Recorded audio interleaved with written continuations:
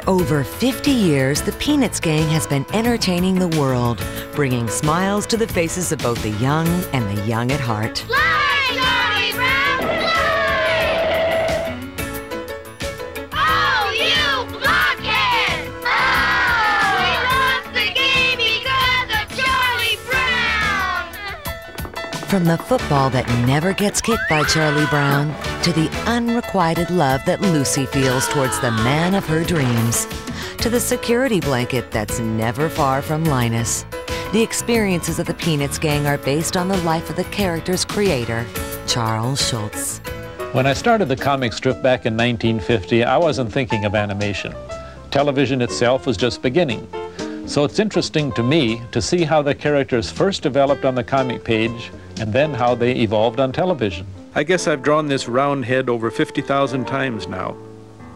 Many of the struggles that Charlie Brown has gone through are similar to the struggles that I suffered when I was growing up. Struggles, in fact, that we all endure each day of our lives. People always ask me if Charlie Brown will ever kick that football, if he'll ever fly that kite, if he'll ever win that baseball game. I kind of doubt it. But you never know. It's the last frame.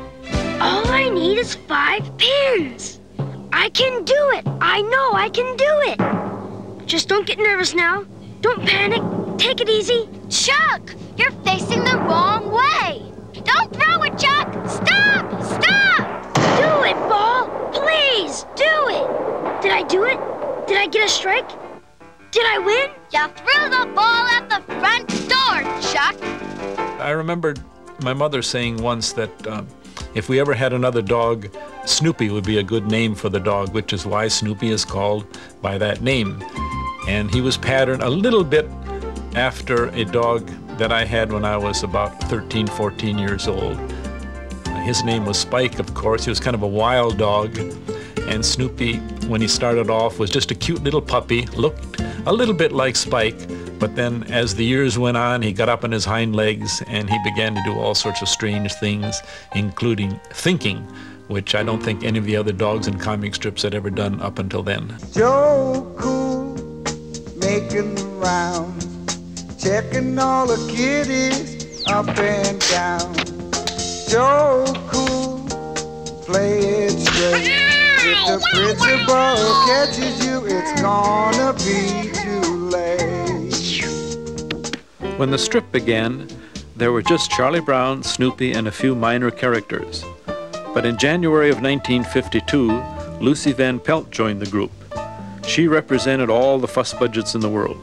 She also was the perfect antagonist for poor old Charlie Brown. Come on, Charlie Brown. It's almost midnight. I'll pour you a root beer. Thank you, Lucy. I've decided next year I'm going to be a changed person.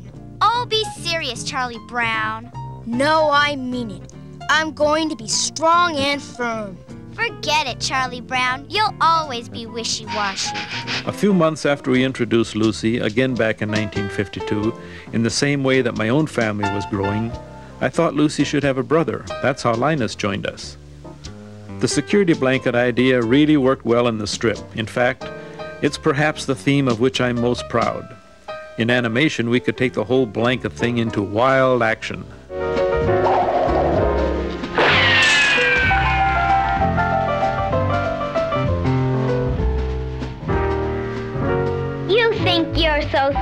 That blanket. What are you gonna do with it when you grow up? Maybe I'll make it into a sport coat. Seven years later, in 1960, it was time to have a baby sister for Charlie Brown. Sally was a character who would speak out freely about all the pressures I think we put on little kids.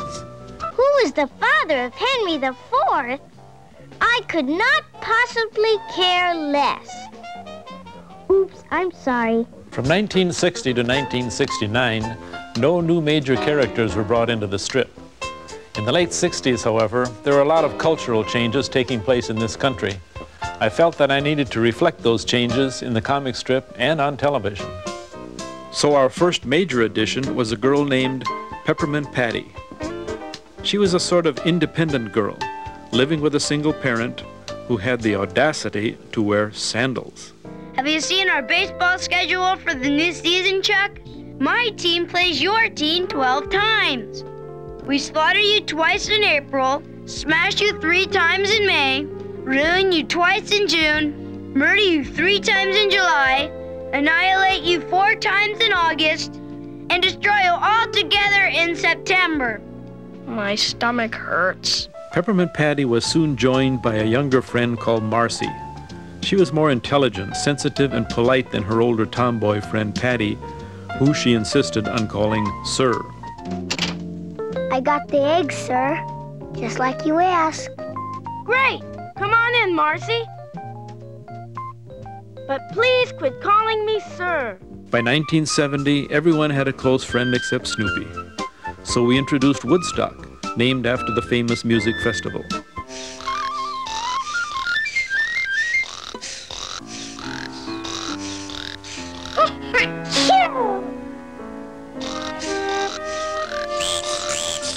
Our resident musician all these years has been Schroeder.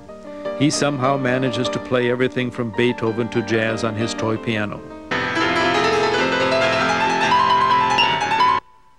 Please don't set your lemonade on my piano. The glass might leave a ring. Ooh, aren't we fussy, fussy, fussy? I rarely draw the character Pigpen in the comic strip. Yet, for some reason, people are always asking me about him.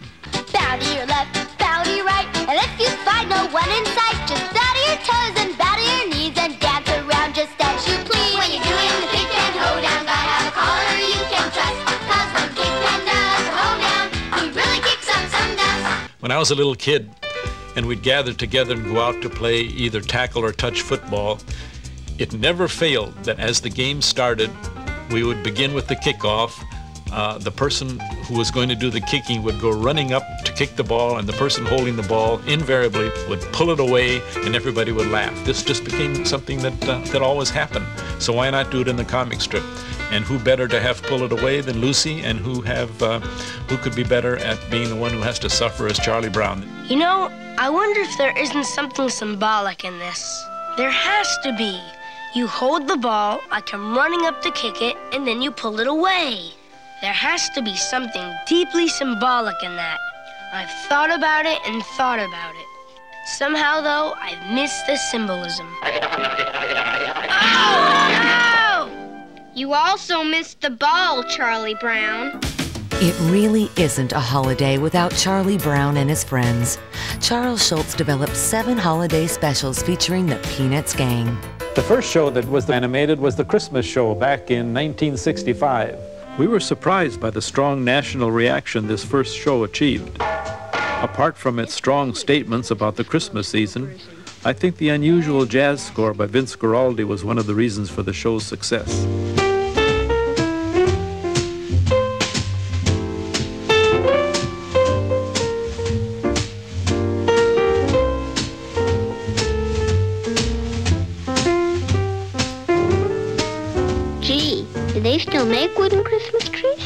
With the success of the Christmas show, we decided to stick with the holiday themes.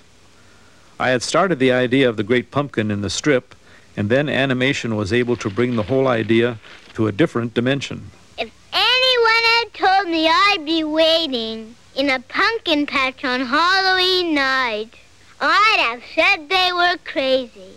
I got five pieces of candy. I got a chocolate bar. I got a quarter. I got a rock. That scene with the rocks seemed to get a lot of viewers. Charlie Brown received candy and cookies from folks all over the United States.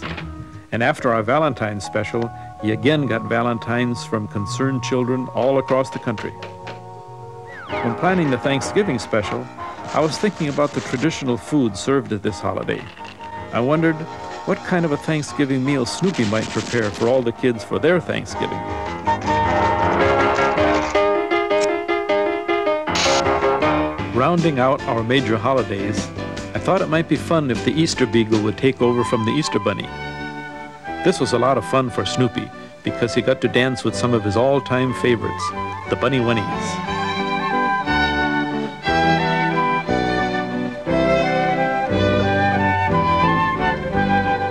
In addition to these holidays, Charles Schulz also created specials for New Year's and Arbor Day. In each, Charlie Brown not only entertains, but also teaches and educates us. And that was always the most important goal of Charles Schulz. I think Charlie Brown just wants to be left alone to enjoy the things in life that he really likes. I've always said that he's probably the sort of little kid that I would have liked to have had as a friend or a neighbor when I was small because he likes these simple things in life. He likes baseball and he likes to read he doesn't want to bother anybody else. He just wants to enjoy these things that he likes and not be interrupted by uh, other more nasty people who have a tendency to want to spoil the things that you like. But Charlie Brown's a very decent, caring little boy. Unfortunately, he is surrounded by uh, people who don't have any idea what's going on and by a dog who doesn't even remember his name.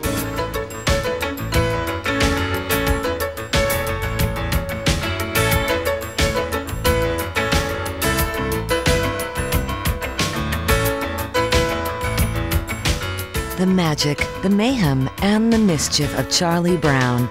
Snoopy, Lucy, and the entire Peanuts gang will continue entertaining the world for generations to come, thanks to their unforgettable creator, Charles Schulz.